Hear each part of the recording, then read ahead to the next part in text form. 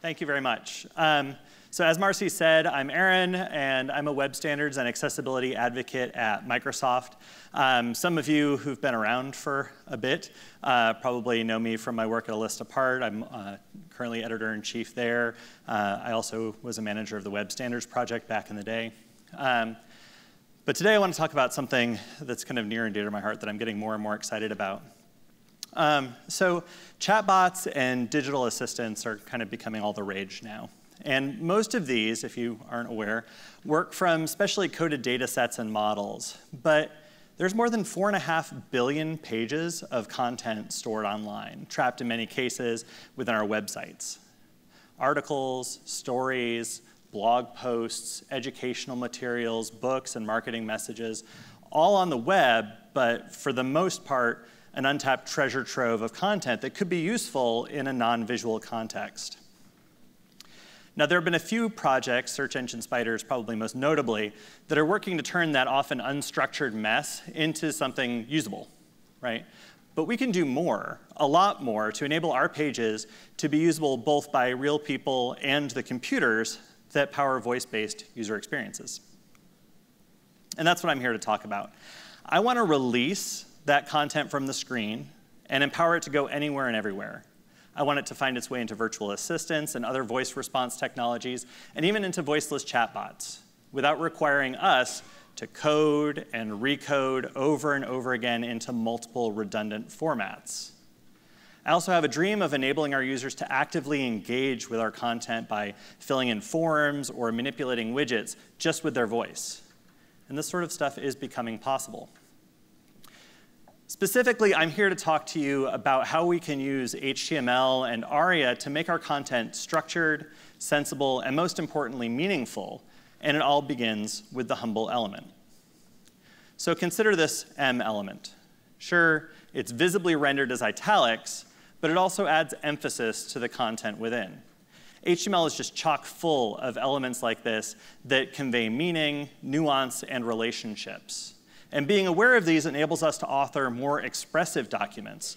And ignoring them can actually undermine the usability of the content that we're marking up. When we create a web page, we need to be mindful of the conversation that we're creating with our customers in that process. And we need to choose the elements that we use with intent and care. One of the best indicators of how HTML will make it into our virtual assistants is another assistive technology, screen readers right? Not only do screen readers do as their name implies, but they also enable users to rapidly navigate a page in various ways. Um, and they provide means to translate visual design constructs such as proximity, proportion, and so on into audible cues. At least they do so when we author our pages thoughtfully.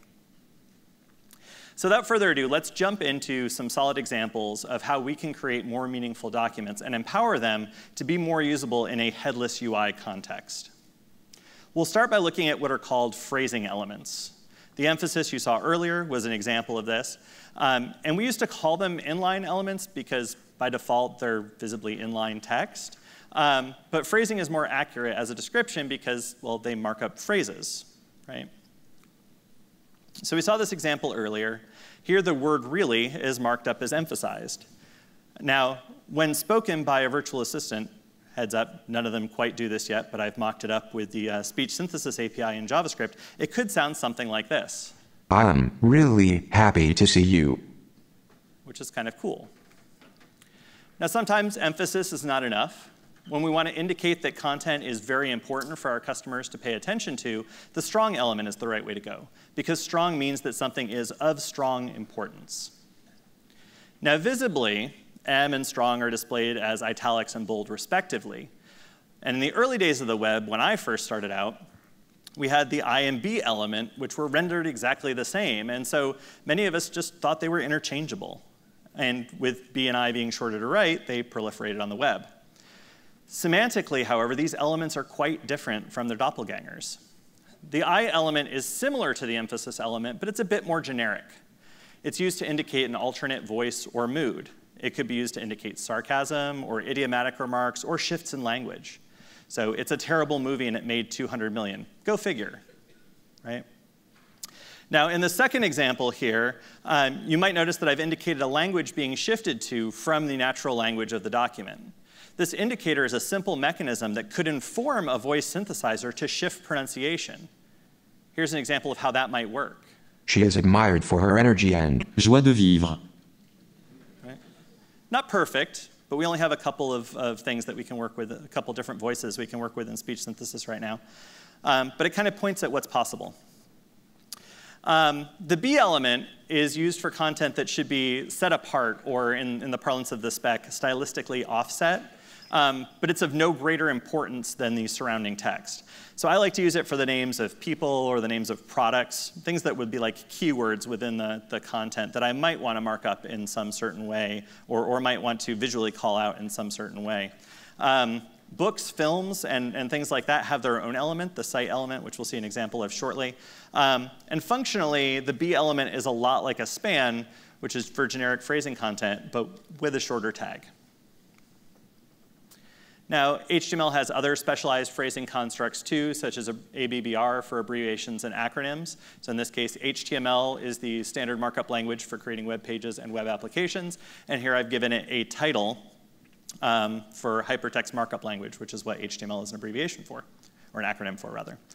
Now, sadly, as with many things on the web, uh, Black Hat SEO folks uh, used the title element to, or the title attribute to put all kinds of awful stuff into pages in order to boost search engine ranking.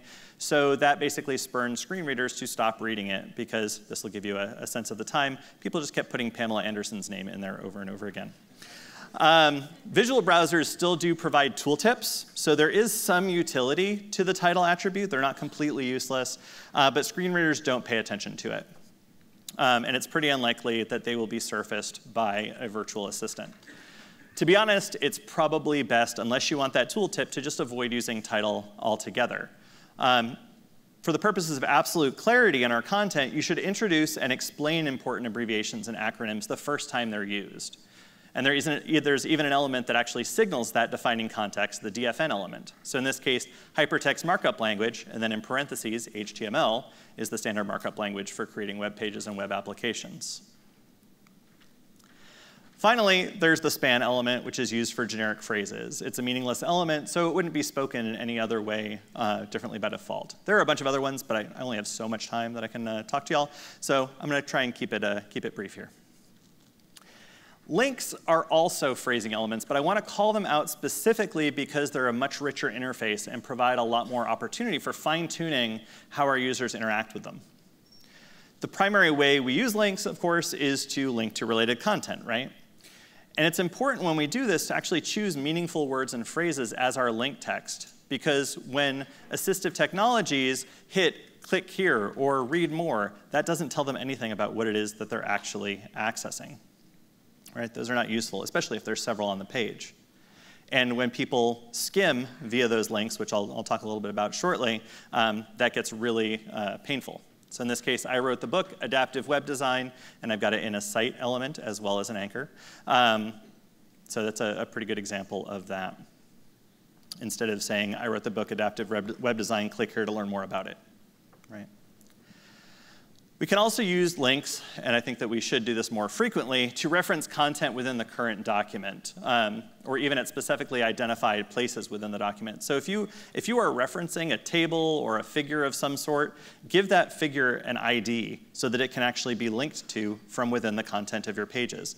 Same thing for headings. Please, God, if you're writing something on the web, put IDs on your headings so that if I want to reference something that you've written, I can actually point to at least the section that it's in. Don't make me just go to the generic page and have somebody have to hunt for where that quote is. You can even use them to inform users about uh, the language that's in use on a linked page using the hreflang attribute. So in this case, it's switching to a, a Spanish version of this page. And you can indicate the kind of content being linked to using the type attribute. You use MIME types for that. And in a relatively new addition to the HTML spec, you actually have the download keyword, which can inform the browser that the file in question should be downloaded rather than presented. Again, it's a simple attribute that makes an HTML document capable of so much more. It's worth noting, though, for the download attribute, that would be ignored on any cross-origin URIs, so it has to be same domain. Anchor elements also support non-web pseudo protocols. Um, two of the most common are mailto and um, Tel, so email and phone numbers. Um, but SMS and webcal are also quite, uh, quite common. And some operating systems and browsers allow installed apps to also register custom protocols that serve to access in-app functionality. But I want to just throw it out there that you should be cautious about using that approach because if the protocol is not recognized, then the operating system will often prompt the user to try and find an app that can actually use that, uh, which just adds friction to the experience. There are other ways to direct URLs into applications, uh, so I recommend looking into those. Now, all this phrasing content's great but I've spent a little while in the weeds, the minutia, and I want to kind of pull back and look at documents themselves because I need to. I, I think we need to think about how we author our, our documents and our web pages on the whole. Now, as you're probably aware, headless UIs place a greater cognitive load on our users. It's hard to keep track of where you are in an interface, and it can be even more challenging to move around when you can't gather information about the interface from visual cues. Right? And the more complex an interface is, the more challenging this becomes. Now, the same is true in visual interfaces too, which is why mobile first was such a great boon for us because it told us we needed to focus our pages on, on single tasks and helping users to accomplish those things. It reduced the noise and raised the signal. But most web pages, I think you'd probably agree, are the antithesis of clear and straightforward. As our screen sizes enlarge, we just keep shoving stuff into that space sharing links, related content, cross promotions, and so on, sometimes it's easy to lose sight of what is actually the content of the page. To combat this, screen readers provide numerous mechanisms that enable users to gather information about the current interface and then move efficiently through it um, to find the bit that's most relevant to them in the current moment. So one mechanism available for skimming a document involves moving the focus caret from one interactive element to another. Now, traditionally, that movement's done via the keyboard, uh, via the tab key, but it can also be done via voice by saying next or previous, or similar commands. Now, in most documents, this means moving from link to link, which are shown here in green, and supporting skimming in this way makes the, the text that we choose for links even more critical in ensuring that our users get a good experience. Form elements and buttons are also focusable, and I'll talk a little bit more about forms towards the end of the session. Now you can add elements that would not traditionally be focusable into the tab order by adding a tab index attribute with a value of zero. That's very important. Only do zero or negative one, never go over zero. Um, but this ensures that critical interface components are not accidentally bypassed by users who are using uh, tabbing to move through an interface. And incidentally, it also enables sighted users to interact and scroll uh, elements via the keyboard. So if you have a, a, scrollable div or something like that, somebody who's using a keyboard can actually scroll that even if they're sighted. Now, another navigational mechanism is browsing by heading. The various heading levels in HTML create a natural document outline, and assistive technologies can enable users to skim content using these headings. Since only the contents of the heading elements are read out loud in this mode, I highly recommend that you avoid using cutesy marketing phrases and stick to just summarizing what the contents are of each section. And then the final way users can traverse documents is via what are called landmarks. So the concept of landmarks surfaced in the development of the ARIA spec.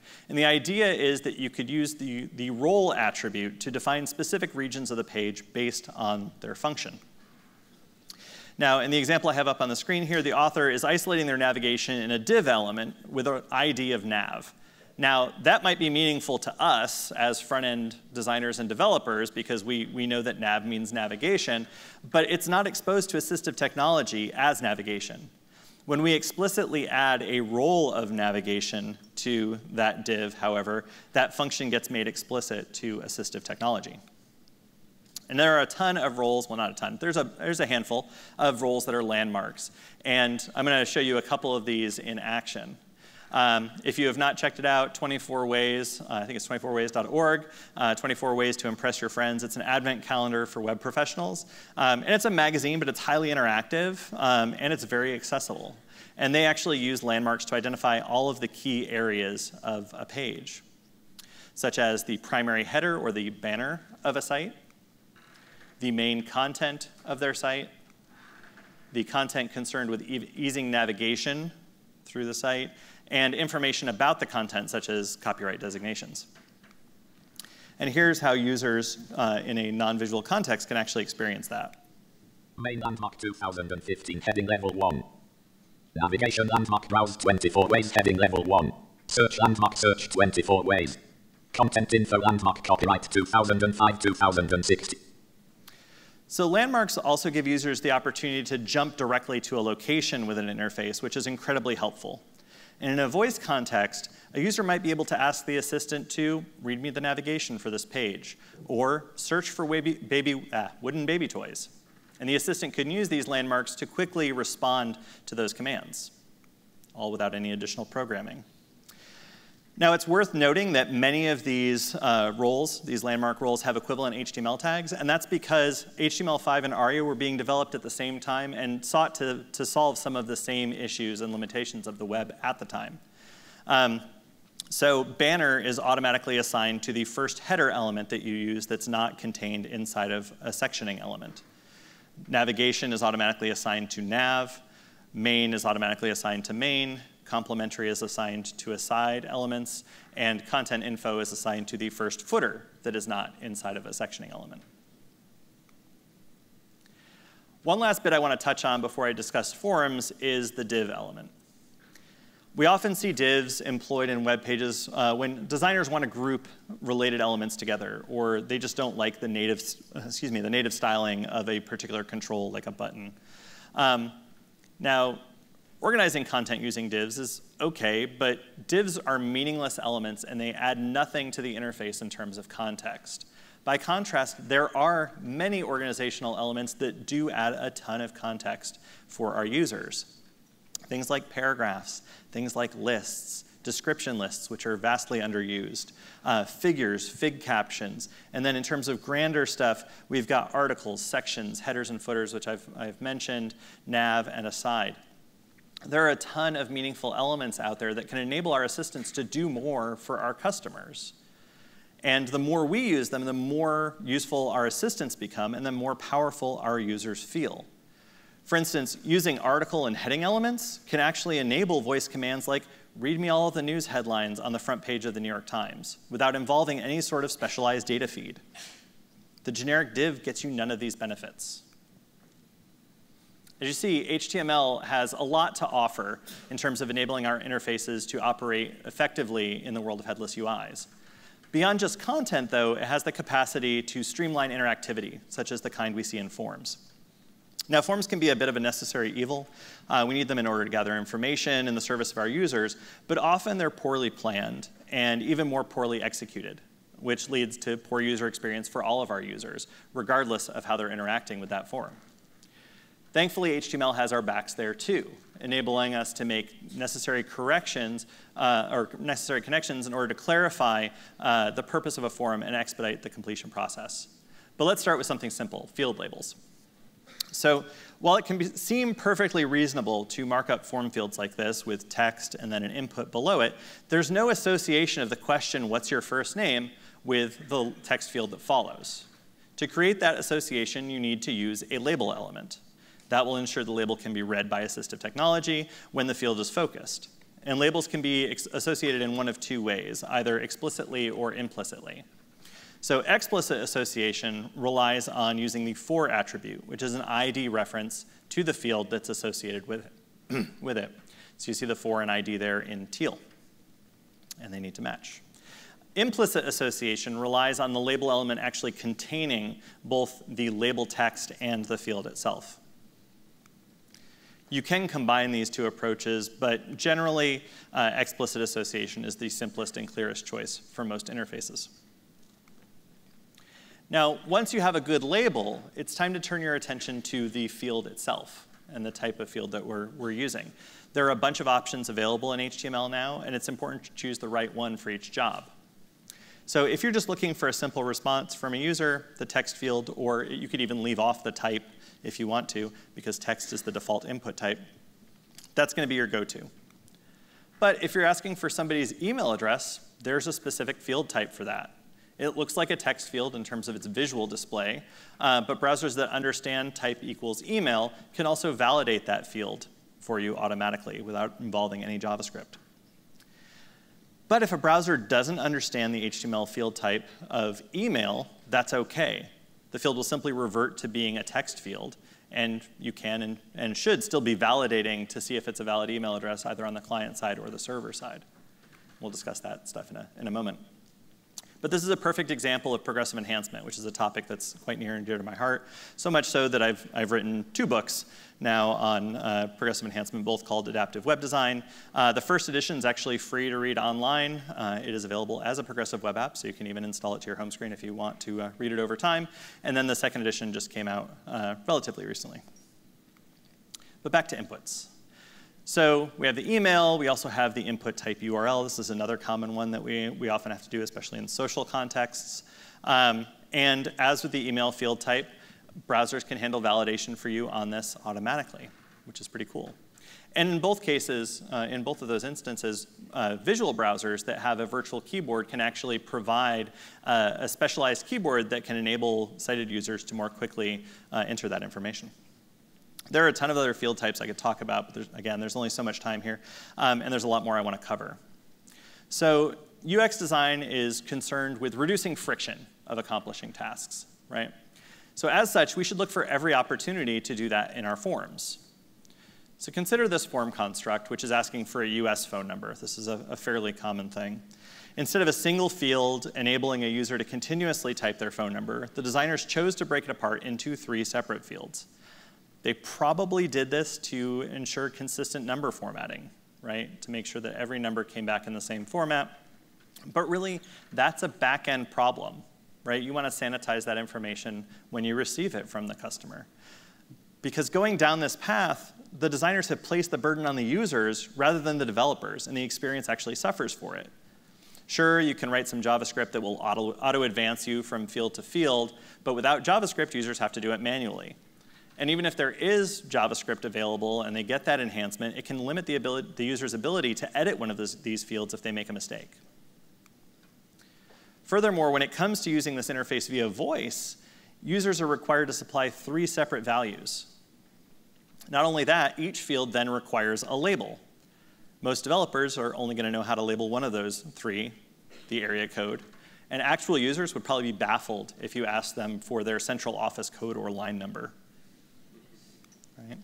For all these reasons, it just makes sense to work with what HTML gives us. There's a field for telephone numbers, input type equals tel. It doesn't validate because there are too many international uh, phone number formats, but that's okay.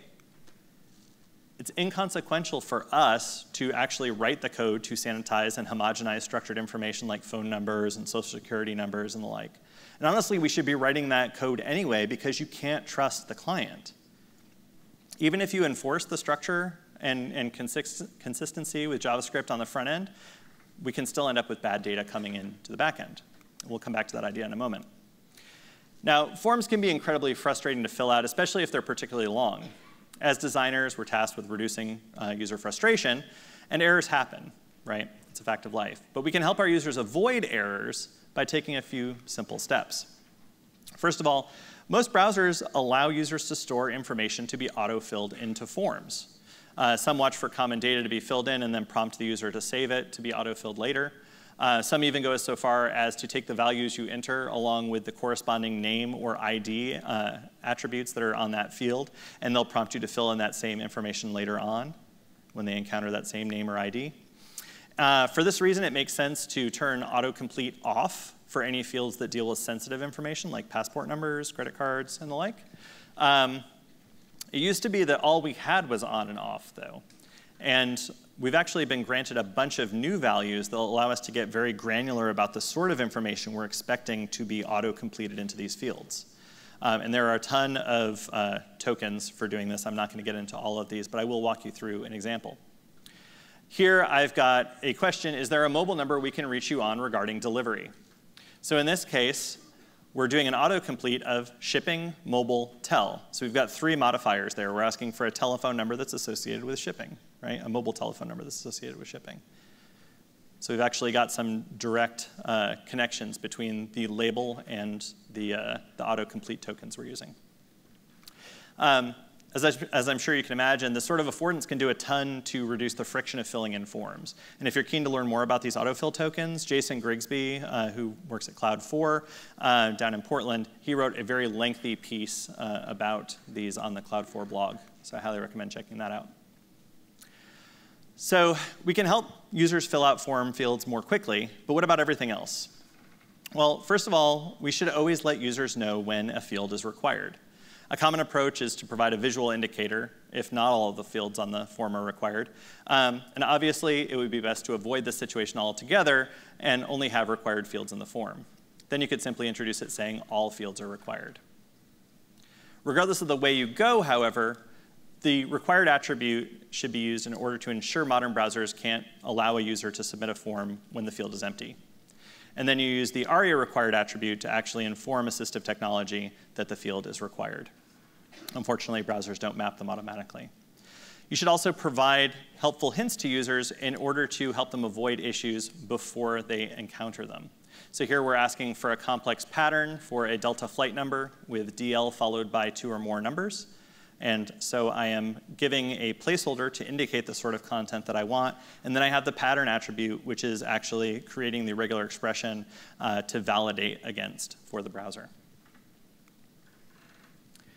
Round trips to the server are expensive, so especially on flaky networks. So we want to help our users avoid these things by doing validation in the browser as much as we can. And we can rely on these tools in order to do that. Um, so it starts with the required attribute so that we don't have empty fields being submitted if we need them. Um, and then it comes to choosing the right field type, as I mentioned, so that we get native validation if we can. And then we can fall back to the pattern attribute if there's not a native validation scheme. Um, and then browsers that actually implement the HTML5 validation algorithm will notify users in line of fields that have errors.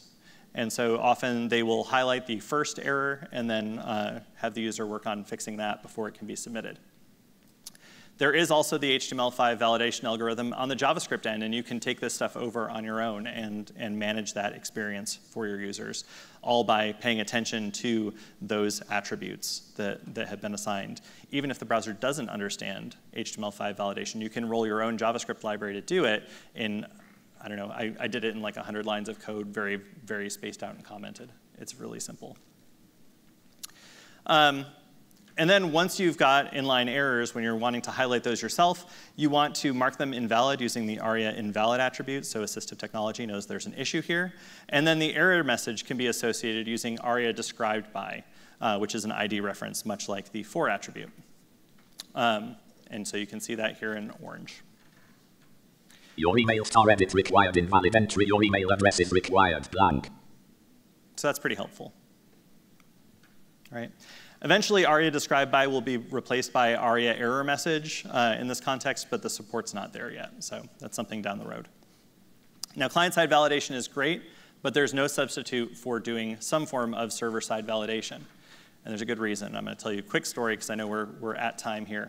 Uh, but back in 2001, when the original Xbox was the game system to drool over, we as an industry put a lot of faith in the browser and didn't realize how our sites could be manipulated or hacked. And I remember an instance where a major vulnerability was discovered in an e-commerce site and involved this gaming system. In their infinite wisdom, the developer had actually put the price of the Xbox in a hidden input. And since it was hidden, no one could see it an enterprising web designer could view source and see it, but these were the days before browsers actually had tools for web developers to manipulate documents in, in real time. But they did have this thing called save. so you could save a web page for offline viewing. So one enterprising person did that very thing, edited the file, and uh, changed that value to a dollar. And then they loaded the HTML document in their browser, submitted the form, and they got their uh, Xbox about two weeks later for a buck. Um, the developer didn't have any checks in place to make sure that products couldn't be sold for less than the value uh, that, that they listed as the price. They didn't realize you can't trust the client. You should always validate on the server side because Even if a user has JavaScript turned on, has a browser capable of doing HTML5 validation, you can't assume that the validation criteria was actually met. It's totally inconsequential to change a web page's markup, to adjust scripts, to adjust forms, or otherwise compromise a web page using only, only the tools that are built into virtually every browser out there. How many of you have changed a form in order to actually be able to submit it? Yeah. This happens all the time, right? We need to, to actually never trust the client. We need to always make sure we're getting what we're expecting. And since the server side is your last line of defense, we need to be ready to, to go back to that form again and provide information about what the errors are that we encountered. So we want to sum summarize those server-side errors in some sort of message at the top. Um, put it at the top of the form, start with a helpful introduction. There were some errors with your form submission. List the errors in the orders that they're presented in the form. And link to each of those uh, fields that have an error. The nice thing is we've got anchor references directly to those uh, fields because they all have IDs on them, right? So that makes it really simple to do so. And if you add a role of alert in some browsers, although the, the, this has kind of ebbed and flowed and changed over the time, but some of them do something cool like this when the page loads. Contact retreats 4 geeks. There were errors with your form submission. 1. Message is a required field 2. Name is a required field 3. Email is a required field. How friggin' awesome is that? That's so helpful when you can't visually see the form, right? Then use the pattern I showed earlier to make sure that you indicate in line what the actual problem was, is and help people to, to solve that. And of course, make sure that you bring back the value that they entered in case they just have to make a slight change to it. Um, so HTML is a truly robust and expressive language, but it's often overlooked and undervalued. But it has the incredible potential to nurture conversations with our users without requiring a whole lot of effort on our part. Simply taking the time to code web pages well will enable our sites to do more, thereby enabling our users to do more. Hopefully this rather brief overview has opened up your eyes to the wonderful world of HTML and how semantic markup can make our content structured, sensible, and most importantly, meaningful. And if you are already a true believer, I hope you walk away from this session with a few new techniques that you can put to use in your own work. Thank you all very much.